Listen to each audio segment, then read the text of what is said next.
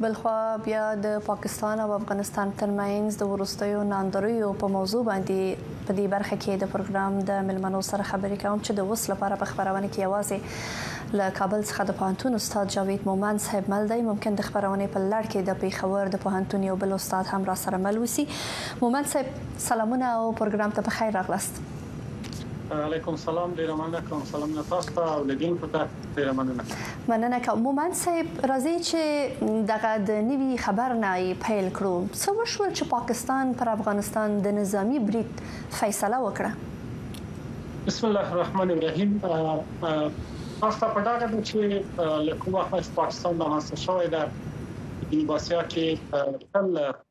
له افغانستان سره او بیا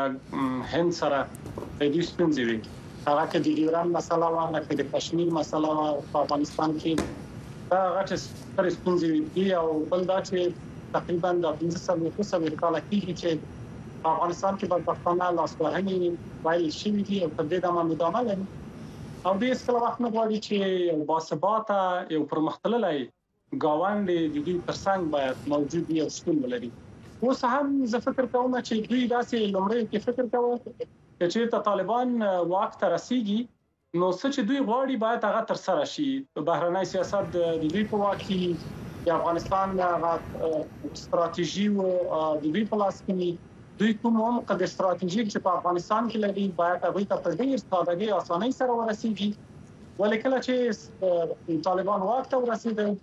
دا برعکس شو یعنی په دې معنی دوی د خپل اهداف ته ونه رسېدل د دوی غوښتنې ونه منل شي او بل اخر دوی دې ته اړ شول چې په افغانستان کې لاسوهنې وکړي حتی تر دې چې د دویم برید چې د افغانستان په خاورې باندې برید کیږي، یرغل کیږي، ماشومان، ښځینه پکې په شهادت رسول کیږي، چې دا خلاف د اصولو دي او خلاف د نړیوالو حقوقو دي، چې دوی پرته له دې چې دا وسنجوي چې په یو ګاونډ سره څه ډول باید خبرې اترې وشي، دوی یرغل وکړ او بالاخره هغه اصول مات کړل. بله مسله دا ده اغلې نورسرۍ، چې تر ډیر دیده پورې پاکستانیان غواړي اوس هغه کوم جال کې چې دوی راګیر شوي، جال چې نورو ته ایښی و، په خاصه توګه افغانستان ته، په دې دام کې دوی اوس راګیر شوي دي. اوس غواړي چې له دې دام نه دوی باید ځان خلاص کړي، نو د خپل دغه پړه دا په افغانستان باندې اچوي. هغه که امنیتي اړخ ده، هغه که اقتصادي اړخ کې اوس ستونزو سره مخامخ دي، دا پړه په افغانستان اچوي. په درېیمه برخه چې دوی دې ته اړ شول چې افغانستان سره اړیکې ترینګلې شي، هغه دا ده چې دوی غواړي په نړیواله کچه چې اوس کوم سیاسي مثلث رامنځته شوی چې هغه د قدرتونو مثلث ده، امریکا، چین، روسیه، دوی غواړي له دوی نه بیا امتیاز تر لاسه کړي، بیا د یو پروژې کانټرکټ وکړي، له دې پروژې سره دوی بیا غواړي چې په دغه سیمه کې چې د دغه هیوادونو موخې دي دا موخې دوی تر پلي کړي او بالاخره دوی یو څه امتیاز تر لاسه کړي، ځکه اوس په اقتصادي بد وضعیت کې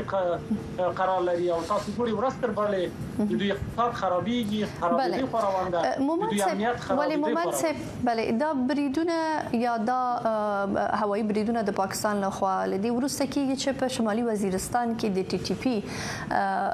لخوا برید وشو یعنی دا سی ویل شو چې پاکستان هم ځان ته مواجه یعنی علت لري او دوی په وار وار د طالبانو نه غوښتي دي چې د ټي ټي پی سره د مذاکراتو په برخه کې د دوی سره همکاري وکړي یعنی چې دغه مذاکرات هم څو واره چې د دیو ډیلیګیشن افغانستان ته ولاړل نتیجه یې نه درلوده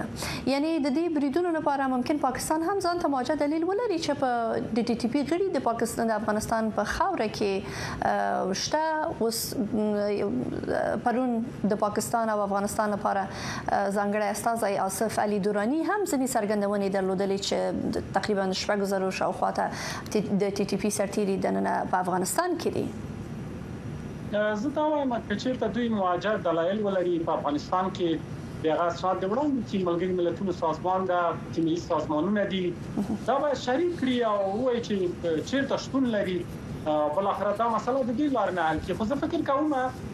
چې ما مخکې هم تاسو ته اغلې ملوڅانۍ یادونه وکړه چې دا د پاکستان په خپله داخلي موضوع ده او ها ما مخکې هم یادونه کړه چې دوی اوس د امنیتي اړخ نه اقتصادي اړخ نه په یو بحران کې تللي دي نو د دې بحران د کنټرول لپاره د دې بحران د مدیریت لپاره دوی دا کار کوي ګوري ما مخکې هم یادونه کړې زموږ د شاهي نظام سره د دوی جوړه نه وه د کمونیستي نظامو سره د دوی جوړه نه وه جمهوریت سره د دوی جوړه نه وه، مجاهدینو سره د دوی جوړه نه وه، اوس طالبان سره د دوی جوړه نه ده، خو.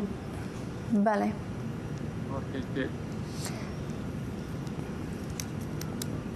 بله مهرباني مومند صاحب زه فکر کوم چې برقونه په افغانستان کې زی او راځي په هر حال که تاسو اجازه یې زه بل پښتنه مطرح کوم د طالبانو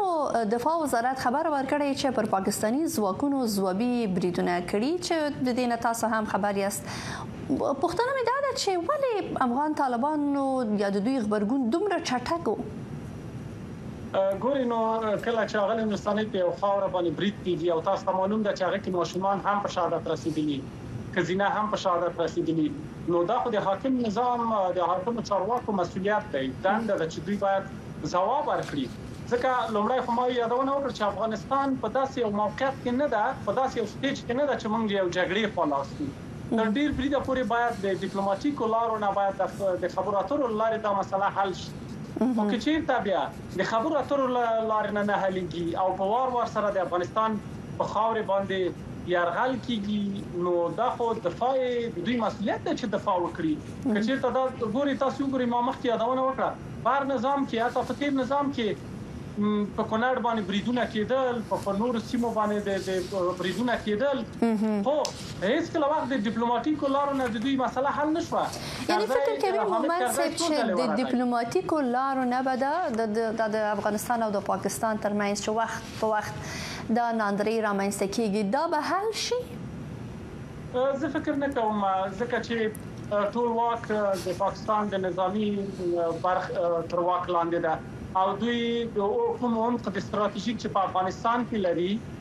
نو هغه غواړي چې هغه هم خود ستراتیژیک ته ورسیږي هغه هر لارې لټوي غواړي او بل دوی داسې انګیرنه کوي چې کېدای شي طالبان یا اسلامي امارات له هندیانو سره اړیکې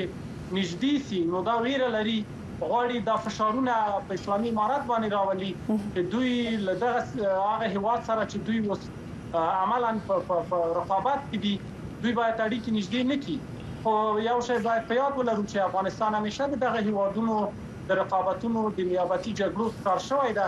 باید موږ ډیر په احتیاط سره مخکې لاړ شو او دا هیوادونو رقابتونه مدیریت شي لومړی خو باید ډیر کوشش وکړو چې جګړې خو لاړ نه شو ځکه افغانان ډیر یو اوږدې جګړې نه راوتی او اوس هم د جګړې خطرات شتون لري مشکلاتو سره موږ مخامخ یاستو سیاسي اقتصادي نو په دې صورت کې جګړه د حل لاره نه ده خو که چیرته بیا په وار وار سره که خدای مکړه دغه دغه ناندري فرضاً ډېری جدي شي او جګړې خواته ولاړ شي چې ظاهراً د پاکستان برید وس په ځواب کې د افغانستان لخوا په دوی باندې برید که داسې وشي خدای مکړه فکر کوي چې بیا افغانستان د پاکستان سره د پوځي جګړې توان لري زما له نظره ما مخکې دا نو چې افغانستان یو اوږده جګړه تیر کړې ده یعنی موږ 15 کال جګړه تیر شوې ده افغانستان اقتصادي نظامی سیاسي اړخ نه داسې یو هیواد د چې بحران سره مخامخ دی خو یو شی دا افغانانو همیش د میړانه خودلې ده چې چیرته کوم هیواد په برید کړی ده بیا ملتونه سره یو شوی په اتفاق او اتحاد سره خپل خاورې دفاع کړې ده دا به سم وي چې تلفات به ډیر وي او موږ به په دې کې ضرر به ډیر وي او بل لار به شتون نه لري مجبور ده چې افغانان د خپل خاورې څخه دفاع وکړي